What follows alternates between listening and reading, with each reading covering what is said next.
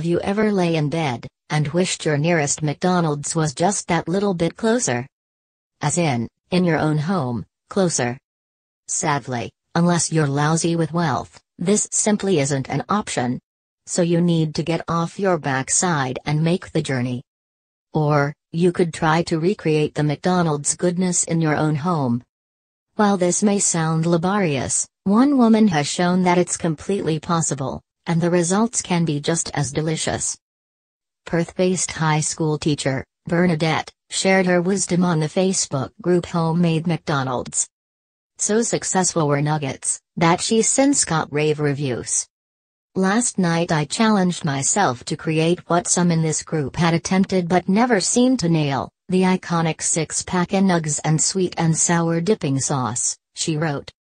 For the nuggets, she triple coated a chicken breast in a Ziploc bag of flour with salt, vegeta, stock powder, garlic powder, onion powder, salt and pepper with an intermittent egg Washington. Next, and this could be the secret, she put them in a freezer between the second and third coats to ensure crispiness a la OG. As for the sweet and sour sauce, this was the part Bernadette felt a little nervous about, adding, I really didn't think this was gonna be possible to replicate at home but I came pretty damn close. To create this, she put apricot jam, garlic powder, onion powder, soy sauce, mustard, white wine vinegar, glucose syrup and cornstarch in a food mixer and blitzed them. She then reduced them over a gentle simmer. As for the results, Bernadette awarded herself 9 tenths.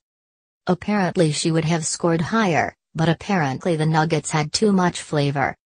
Bernadette's Nuggets quickly won her legion of fans. Calling for a second entry for Bern into the Hall of Fame, one enthused. Another added, legit nugs. I'm impressed. Well played, miss. One fan was so overcome with emotion he simply added, I'm lost for words.